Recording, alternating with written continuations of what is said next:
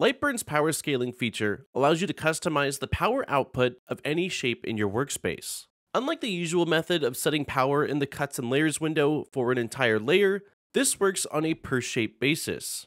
Power scaling is not visible in the default Lightburn workspace layout. To enable it, head up to the Window drop-down menu and select Shape Properties. This will open a tabbed Shape Properties window on the right side of your workspace. It will appear blank until you select a shape to make it active.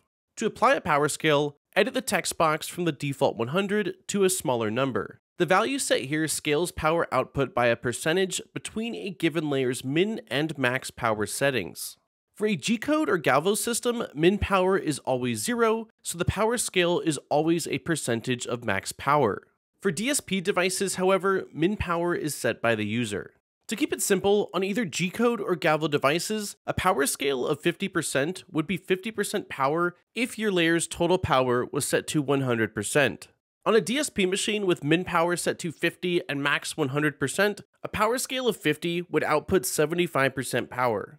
One application of this feature is making highly customized material test grids. Lightburn has a built-in material test tool that works well for most scenarios, but if you want to use shapes other than rectangles or set specific spacing, you can accomplish that with power scaling. Another great use is for complex engravings with widely varying shape sizes. For the smaller shapes, the laser will not be able to fully get up to speed, which can cause scorching on some materials. Instead of putting the smaller shapes on their own layer, leading to an increase in job time from the added travel moves, you can select them and apply a power scale. This allows the laser to maintain an efficient path while dropping laser output when passing over the smaller shapes. The result is an optimized job giving you the best quality and quickest runtime possible.